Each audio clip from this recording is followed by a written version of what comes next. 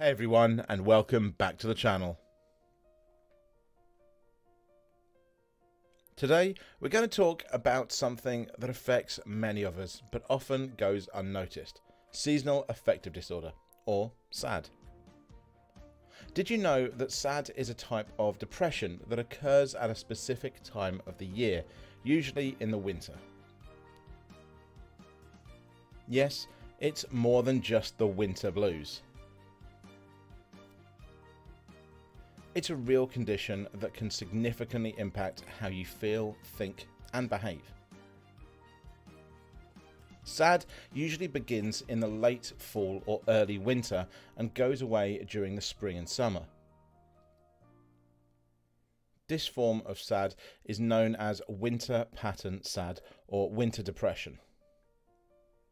Surprisingly, there's also a less common type called summer pattern SAD or summer depression, which occurs during the spring and summer months. The symptoms of SAD are similar to those of depression.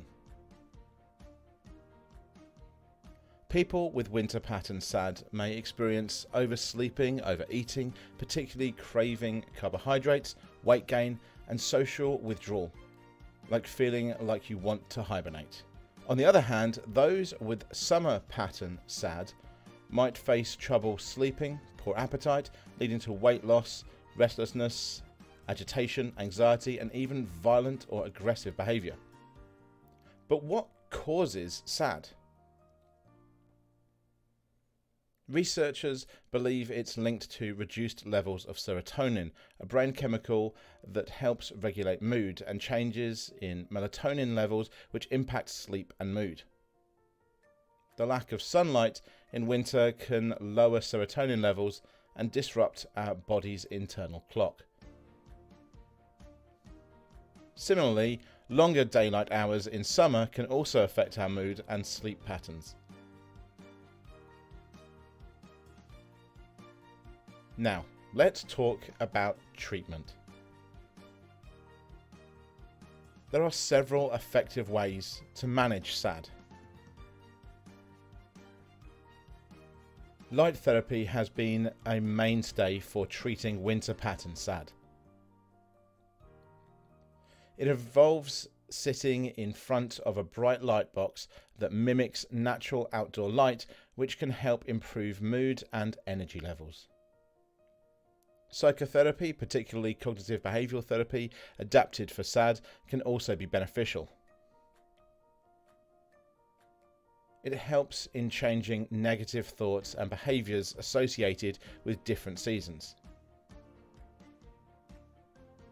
Moreover, antidepressants can be effective, especially those that target serotonin levels.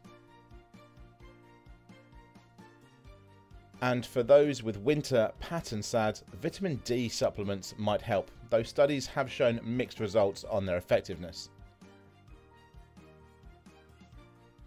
It's important to note that SAD is not just a minor inconvenience.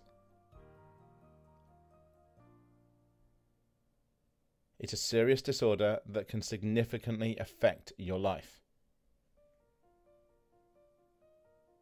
but with the right help and self care, it's manageable. If you think you might be experiencing SAD, please consult a healthcare professional.